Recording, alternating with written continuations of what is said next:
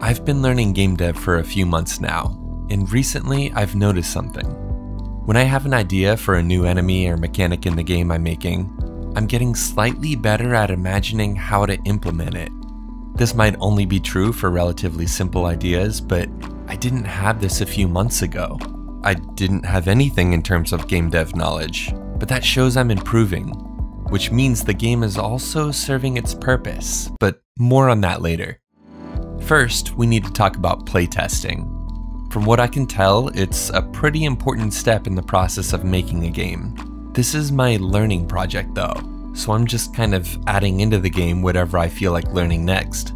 I did have my wife try the game though, and she thought it was way too difficult. She hasn't had a lot of experience in games like this, so that definitely played into it, but it made me think of what I could do to make the game accessible to more people. What if I added a difficulty setting? Since this is a setting that would need to be easily accessible to the rest of the game, even across separate scenes, I created a difficulty autoload. I had some experience with creating autoloads from when I added music into the game, and it's super easy to do in Godot. I then created some variables that I'll use to change certain aspects of the game, like the speed of the enemies and their spawn rates. The higher the difficulty, the faster and more frequent the enemies. After adding a new button in the settings menu and connecting these variables to the enemy movement and spawn timers, we have a working difficulty setting. Let me test it out real quick. That's not what I meant to do. Alright, time to add a confirmation screen for returning to the main menu. I really don't want anyone to accidentally quit while 10 minutes into a good run. There. With that done, we're now overdue for a new enemy. One that shoots. Luckily, getting another kind of enemy to spawn didn't take long since I've done this a few other times already, so once I got the design locked in, don't laugh, I had to decide how I wanted it to shoot. My first thought was to just send a laser in the direction of the player, but then I thought, the player isn't able to shoot diagonally. Maybe this enemy shouldn't either. Instead, I decided to make a system where the direction of the bullet can only be up, down, left, or right. This might sound pretty easy for the player, but when there's 15 other enemies chasing you, now with enemy lasers to dodge too, it gets tough.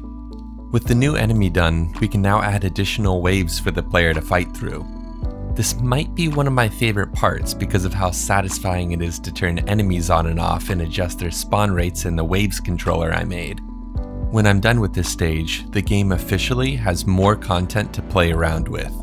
This didn't take nearly as long as I thought it was going to though, which is cool, but it's really making me do some thinking. Let's talk about the purpose of why I'm making this game. If you've seen some of my other videos, you probably know that I have a love for learning. Sometimes it doesn't even matter so much what I'm learning, as long as I'm learning something. But with game dev, it's a little different. I remember the first time my brother and I got a Dreamcast for Christmas, and we, along with my dad, spent what felt like hours trying to figure out how to beat the first fight of Sonic Adventure 1. It was a fight where you could probably beat it just by mashing the A button, but for us who were all new to video games, it was the most difficult thing, and also one of my favorite memories growing up. As I played more games in the following years, I remember thinking of how cool it would be to make one, but I had no idea how. Now, with this project, I've been slowly learning, which was this game's whole purpose from the beginning. I didn't make this with the purpose to be my dream game.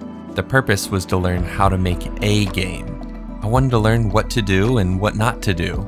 I didn't even have a plan for what the game was going to look like when I first started it, mostly because I didn't know what was possible. I just went with whatever seemed fun to me.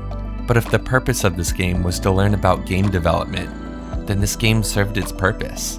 Even though there's still a lot that I can do with it, and I've had a lot of comments with so many great ideas of what to add, the unorganization of the code is really starting to show.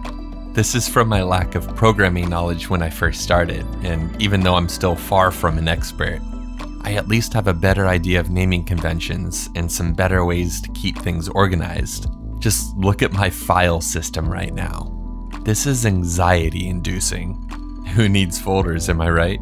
there are still a few things that I want to add into the game that I think will really test me, so I'll be making one final video on this game. After that, I still have a lot to learn, so I'll be testing myself on a completely new genre of game. You'll have to wait and see what that's going to be, but if you have any guesses, I'd love to hear them. So with that, keep learning and I'll see you in the next video.